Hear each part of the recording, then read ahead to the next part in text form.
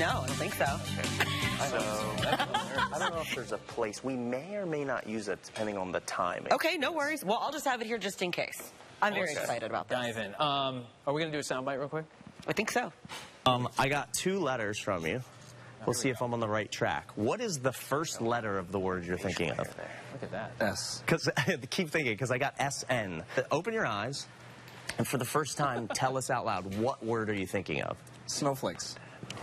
Like that?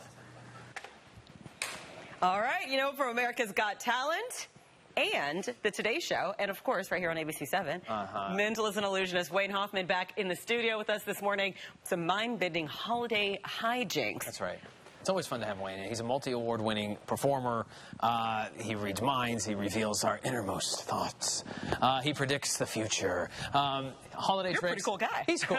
and you know, we love it because he's a busy dude. He just flew in last night, and, and you're taking time out to come hang out with us for a little bit this morning. So we always thank you for that. we Yeah, love of you in course. the studio. Yeah, it's And, always fun being here. We got some fun stuff to do right now before we start talking about some shows you're doing here around the area Yeah, uh, later on in the week. We're always doing fun stuff. Yeah. That's what we do. Yeah. So, uh, you know, a lot of people uh, around holidays, they have parties and get togethers, and my career started performing for these events, you know.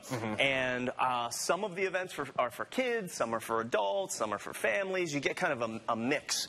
And um, today I figured I would I would show you one of the tricks I started performing. Okay. This is going back 27 years ago Wow. When I first started. And then uh, I figured we'd jump into something that I do today. Are you ready? I'm ready. I'm All right, so, ready. so this first one is. It, you might be able to figure it out, maybe, maybe not. Just flow with me here. I have a um, a brown paper bag. Now remember, this is one of the first tricks that I learned. Uh-huh. Um, and I have a bottle. Now uh, I uh, took the label off because I didn't want to promote any Sure. particular brand of alcohol, and Budweiser has enough publicity.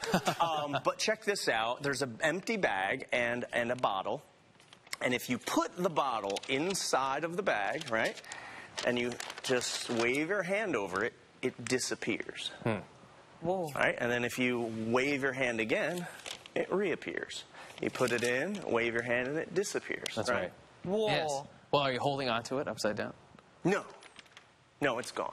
It's completely. Oh my gosh. How did you do that?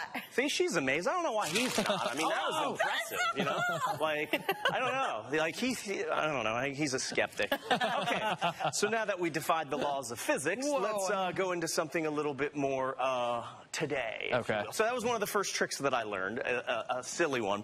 But this one gets a little serious. Now, for a disclaimer, I'm going to tell everybody watching this don't try this at home. If you have little ones watching, make sure you either usher them into the playroom or emphasize not to try this. It involves uh, some cups and Oh. a gigantic metal spike. Now, do me a favor, touch the tip of that, verify that it is sharp. Oh, yeah, that is very Okay? sharp. It- Mhm. it's, Oh, yeah, it's that'll the real do it. deal. Yeah, and, that'll and, do it. And, it, and it's heavy. This is a solid metal spike.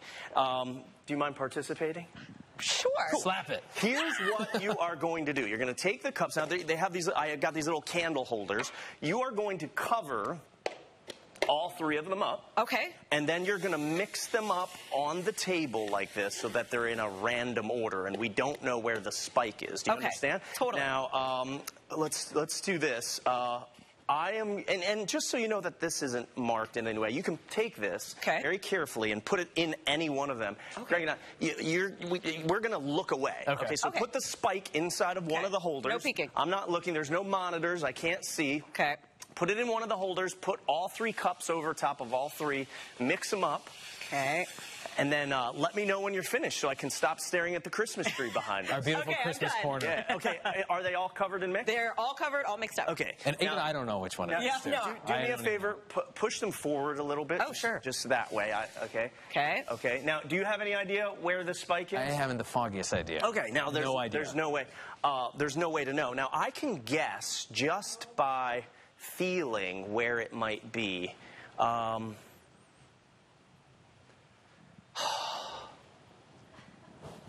Oh my gosh.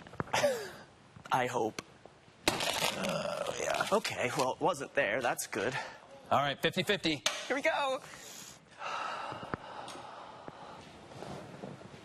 You're not on our health care plan. I, I am not. No. Where do you think it is?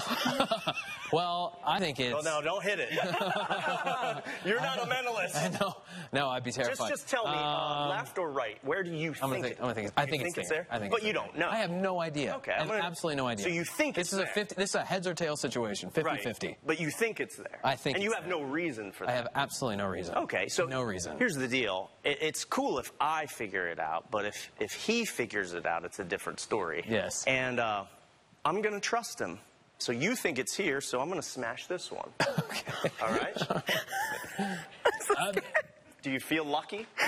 I'm a punk, but uh, yeah, I feel lucky. And you think it's this one. I think the spike so is we're in gonna that one. avoid it by smashing. Oh, I guess you could be a mentalist too. wow! I literally had no idea it was there. I didn't know which one it was. I was like, And you were the one that mixed them. so scared. So, uh, like I said, don't try that at home. Go to your neighbors and do it. I'm just kidding. else. I'm just kidding. I'm just kidding. stuff. So, so yeah, that's how I started my career doing the the, the silly tricks. Yeah. Vanishing a bottle, you know, doing something uh, like that. Uh, but then, uh, now that I've been doing it for close to 30 years, you can get into the more dangerous stuff. And- so, yeah. Too, as a kid, you know, the bottle trick, for example, that's got to do something for your confidence level to be able to get in front of a group of people. Right. Make a bottle disappear. Yeah, you as a little kid, and everyone's like, oh my God. Because even like right now, we're like, whoa. even as adults. I think you know, for for anyone that's watching, if you have uh, children in your home or you have uh, uh, interactions with kids, whether you're a school teacher or a grandparent. I always say magic is one of the greatest hobbies you can get into. So if you're looking for a great gift, Mm-hmm. uh, find a magic shop and, and grab a magic set because I'll tell you what, it's a great confidence booster. It allows you to meet friends. That's right. Yeah. And for me, it did that as a kid. It, uh, I got a magic set for, for Christmas. Yeah. And the rest is history. And then now, luckily for me, I turned it into an entire career. That's awesome. That's amazing. So one of my heroes, Johnny Carson, started out as a magician. That's right. A lot of people don't know that. Um, Jason Alexander uh, from Seinfeld, Yeah. uh, George George Costanza. he, George Costanza was actually a magician Yeah. before uh, becoming an actor. He's a really good magician too. A lot of people don't know that. That's incredible. Yeah. You have some shows coming up too this week. I do, that yeah. People can check out right here locally. Yeah, that's right. I, uh, I'm doing a show at the JW uh, Marriott Marco Island on the 22nd and 23rd, Friday and Saturday at 7:30, uh, and it's an all-ages show. You won't see anything dangerous like this. uh, but yeah, it's it's open to the public, publicly ticketed, um, and if you go to WayneHoffman.com, you can grab tickets. There's a VIP uh, option where you get a meet and greet. Maybe I'll read your mind, and um, it, you can actually get a magic trick. Uh, that you can learn how to do. That's so cool. Oh, that's awesome. cool Yeah. And your shows are always so cool because they're all about audience participation as well. Yeah, oh, you, get can people see. involved. I need you involved. to Yeah. do things. Yeah, it's- especially with the mind reading, which is mostly what I do. You, I, it's boring to stand here and read my own mind. Sure. So it's one of those things. I need my audience. Yeah, every single thing that I do is interactive, um, and I get people involved individually, and people volunteer as a group. It's That's uh, awesome.